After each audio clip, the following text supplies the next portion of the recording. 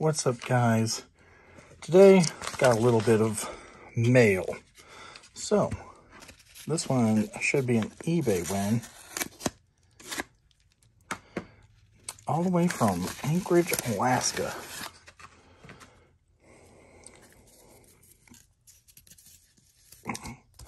Get that tape.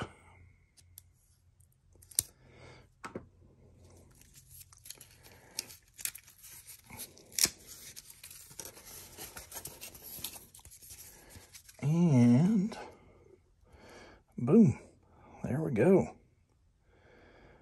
Liam Burns. Out of 25, icy orange auto. I saw it. It was going, it was pretty low right at the dying seconds.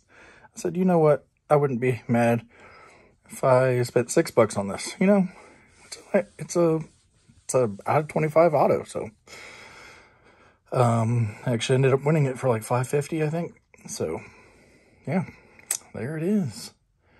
Champion Waterdogs.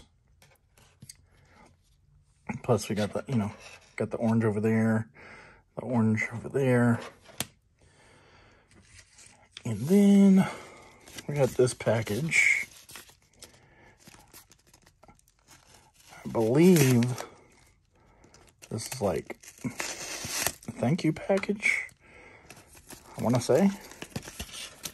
We'll see when I open it, I guess. It is. It is. It very much is. So when someone, there was another breaker that put up a bunch of cards and there was some out of, there was some one of ones and I put it up on, on the, um, on Twitter just letting people know that there, there was a bunch of one-of-ones from these breakers that I've actually purchased from before um, with other sports. And they opened up a ton of PLL cards. So Calder City Sports on Twitter um, said he wanted to thank me because he was able to grab those because I pointed them out. And um, here we go. So we got a Kyle Harrison blue at a 99, a Kyle Harrison gold at a 50, and a Kyle Harrison orange out of 25. So I, I appreciate that very much, Calder Sports. And yeah, I mean, Kyle Harrison's my guy for sure. I mean, I'm a Harrison. He's a Harrison. He's one of the best lacrosse players that I got to to meet, talk to. Um, so yeah, I'm happy to grab these from, from Calder City. And I thank him very much for being so gracious and sending these to me. So there you go.